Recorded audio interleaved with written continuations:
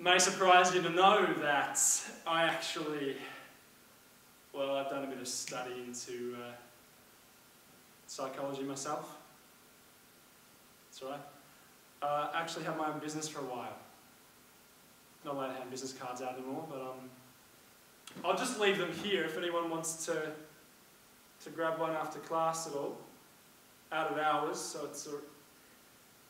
Ah, uh, right, okay. For those of you who don't know me, my name is Stuart.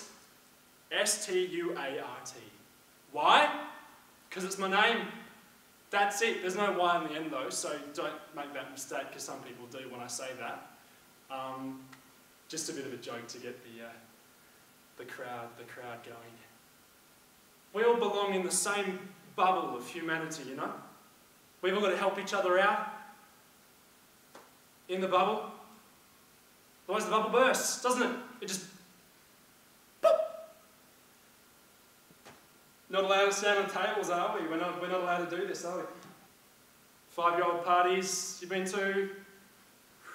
Boop. Now that's what happens in the classroom. Anybody here struggling for an A? Struggling for a B?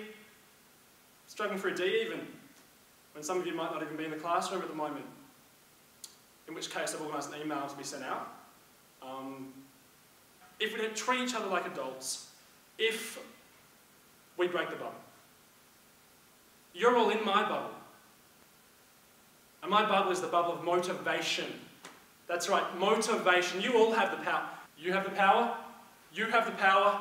You have the power. You have the power. You have the power. You have the power. You have the power.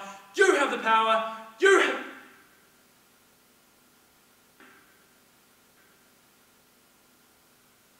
You have the power. You have the power.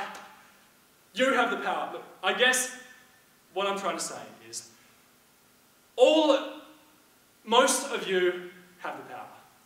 My point being, I'm not quite sure anymore actually.